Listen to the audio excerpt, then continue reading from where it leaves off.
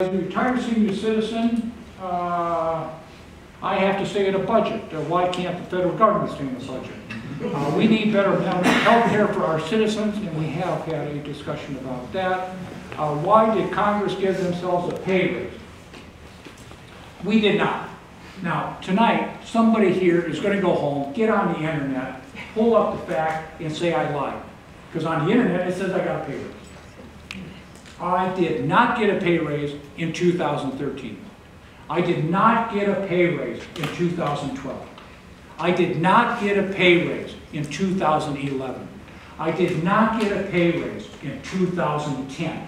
I have cut my office budget by 11% over the last three years.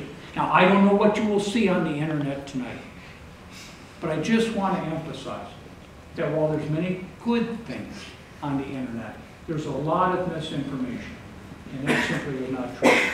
Uh, these words, uh, The president should have the authority to kill U.S. citizens or imprison them uh, without due process? No. Uh, What was Congress's rationale to vote on the disability treaty?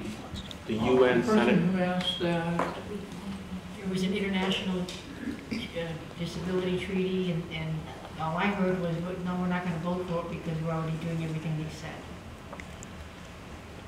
uh, because there was not a vote, I'm not familiar with this It's the issue. one You where, have- it's the one where Bob Dole came to Congress to urge them to vote on the, it's an